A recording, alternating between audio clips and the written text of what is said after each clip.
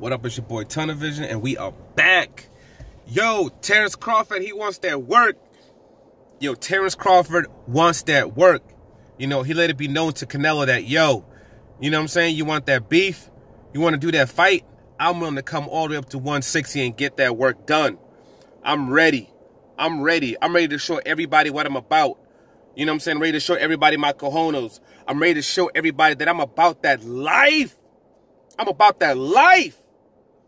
Nah, no, he's not. he don't want to fight Canelo.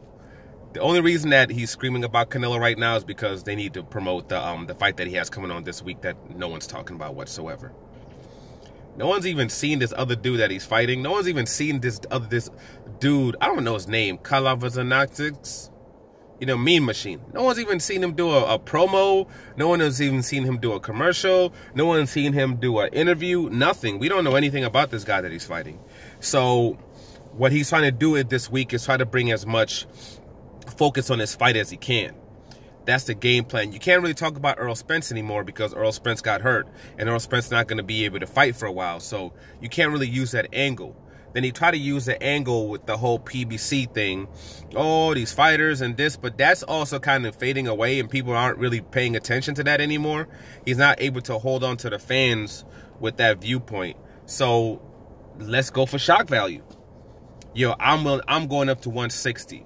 You know what I'm saying? Because I can't get these fights, and these guys here won't fight and fight me. So I'm gonna jump all the way up to 160 pounds, and I'm gonna and I want Canelo. I'm calling out Canelo. You know, I'm calling out Canelo. It's the same thing how Manny used to always call out Floyd Mayweather when he knew he wasn't gonna fight him. He knew he wasn't gonna fight him. It's the same type of thing. But does he actually want to do it? Is it something that actually he would really entertain? Absolutely not. There's no way in hell he's going up to 160 pounds to face anybody. Not to mention, if you were to go up to 160 pounds, you're in the same situations. You know, DAZN. Canelo Alvarez, he fights with DAZN. Um, and with Golden Boy. Uh, what's the other guy? Uh, Demetrius Andrade, he's with DAZN. You know what I'm saying? Uh, the other champion is with the is with PBC. And Jermell Charlo. The IBF champion, Gennady Golovkin, with DAZN. You know what I'm saying? Your promoter would still have to work with other people, and you still would, have, would not be able to fight on ESPN. You're the B side in all those situations. You'd still have to go to another network. In order for them, any of anybody to come to your network, you'd have to put up ish load of money, which your promoter's not willing to do against guys that you can actually beat. So what exactly would change? Be the same type of situation. Exact same type of situation. So I don't see it happening whatsoever. He's just talking all he's trying to do is he's trying to get this um, he's trying to get shock value and he's trying to bring people to his fight so that's all it is it's just shock value you know what i mean and bringing people towards his fight you know getting people interested in his fight i don't know man this guy's gonna have to make some kind of moves um, if he wants to get what he wants as far as legacy as far as big fights and um, this is just not going to cut it.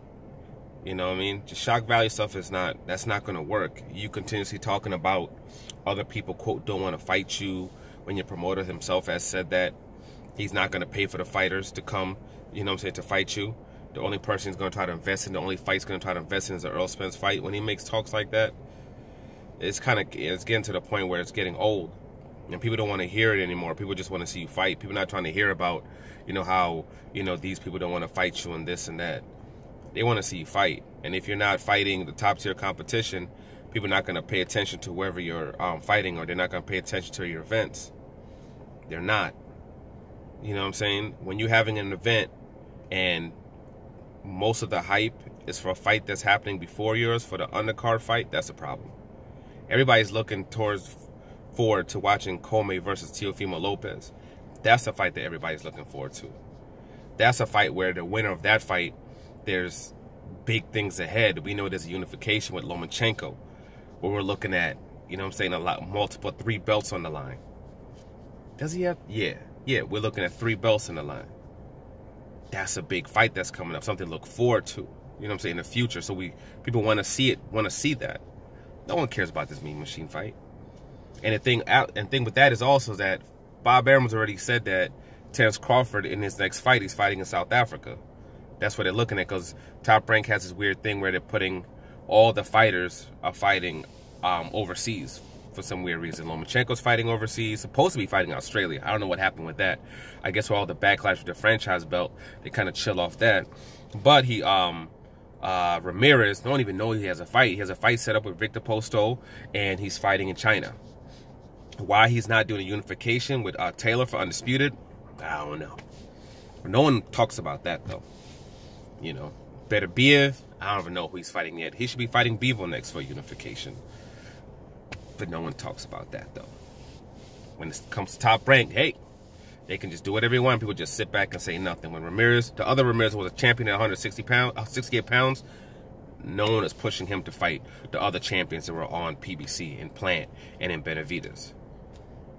You know, when they had the 126 pound champion, no one was pushing him to do anything. And I, even with uh, Shakur Stevenson, I think he's supposed to be moving. Um, he's supposed to be maybe doing unification in uh in the UK, but it looks like that fight might not happen. So I don't know. Fight Gary Russell. But you know, the whole Canelo thing, is he serious about that? No. If he was serious about moving up and getting belts, um, what he would have done was he would have moved to 154 pounds and he would have uh, challenged for the 154 pound belt. And that would have been a uh, smart thing to do when Jaime Munguia had it because Jaime Munguia has some sort of name and he's a WBO champion. So he could have been in a situation where he could have moved up and the WBO would have made him the automatic challenger and made him um, Jaime Munguia's mandatory.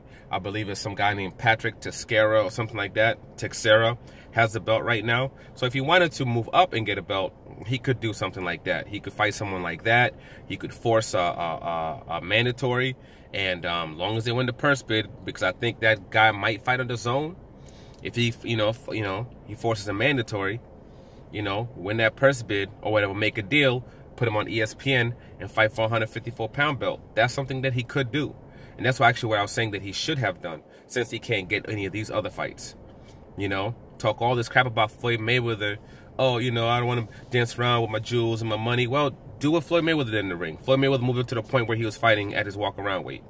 So Floyd Mayweather when Freitas, Casamayor, um, Prince Naseem, all these guys didn't want to fight him. When Ricky Hatton didn't want to fight him. When Kostya didn't want to fight him. And all these guys wouldn't fight him. He said, F it. He kept moving up in weight. And taking on the killers that no one else wanted to face. You know, you could do that. Beat Floyd Mayweather in the ring actually go up to 160. That's something if Floyd Mayweather was your size, he would have done. And he couldn't get the fights at a lower weight class, that what he would have been done. It would be the same thing as you moving up to the 154 pounds and taking on a, a taking on a, what do you call it, a, um, Jaime Munguia. Then taking short money, because Floyd Mayweather used to always take short money just so he could get fights. He's had he had it's early in his career those times where he went and fought for four five thousand dollars because all they had left in the budget is like, man, give me that money, set up the fight just so he can get so he can get the fights in you know, make the sacrifice. Go ahead and go, you know, tell him like, yo, nah, man, I know Charlo fight me. I know J Rock will fight me. I'll take, give me, give me two mil. As long as they give me two, three mil, let me go over there and fight them. You could do something like that. Or you can go to 60 and be like, yo, Bob, let me go to DAZN. Let me do my thing over there in DAZN. I want Demetrius Andrade next. He's a WBO champion. I'm a WBO champion. Let's force this what's it called mandatory. And I'm going to go up and I'm going to face him. That's what Floyd did. People talk all this crap about Floyd. Floyd was taking on champions, top three, top four, pound for pound.